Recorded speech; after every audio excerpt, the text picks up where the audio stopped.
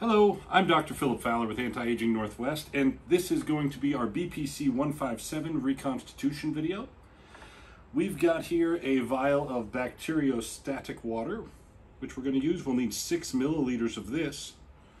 We've got our BPC 157, which is currently a lyophilized powder in a vial, and we're going to turn this back into a sterile injectable solution. So we've got our two vials, we've got our reconstituting syringe. As I've said in other videos, anytime you pick up a syringe that has a screw-on needle, the first thing you want to do is give it a little tighten. So, what we need to do is take six mils of this, six milliliters of this, and put it into this vial in a sterile, clean fashion.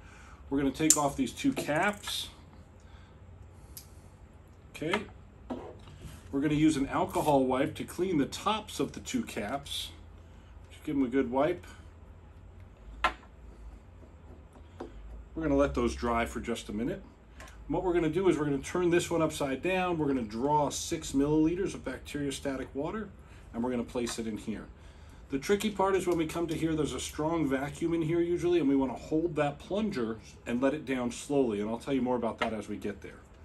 All right, let's go ahead and draw up our six mils of bacteriostatic water. I'm going to go ahead and start by putting some air into that vial just to make my draw easier. So I'm going to press that air in, and now it'll draw real easy. I'm going to go right to the six milliliter mark. And I'm measuring with the top of the black plunger where it meets the syringe wall. I've got exactly six mils there. Oh, incorrect, I have seven mils. I'm gonna press out one mil. Here we go. So, there's a strong vacuum in here. If I just put this needle in there, this plunger is going to rocket to the bottom and I'm gonna power wash my peptides. They're delicate and I don't wanna do that. So what I'm gonna do is hold tightly to the plunger itself. I'm gonna I'm going to go in.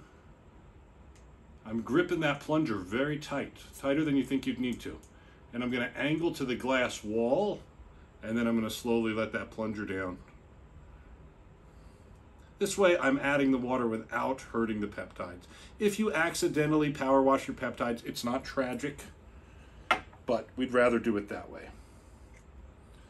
Okay, we don't shake. Again, peptides are delicate. We swirl. So we're just going to swirl this a little bit. We're going to go upside down.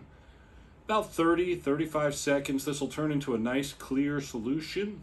And then we're ready to inject. Once your peptide has been reconstituted, at that point on, you want to refrigerate it between each use. If you leave it out overnight one night, again, not tragic, but not optimal. Don't let it get in the sun at all, and certainly don't let it get hot. But if it sat out at room temperature one night, it's not tragic. So there we have it. It's fully reconstituted and ready to inject. I'll see you in our next video where we'll teach you how to inject BPC 157.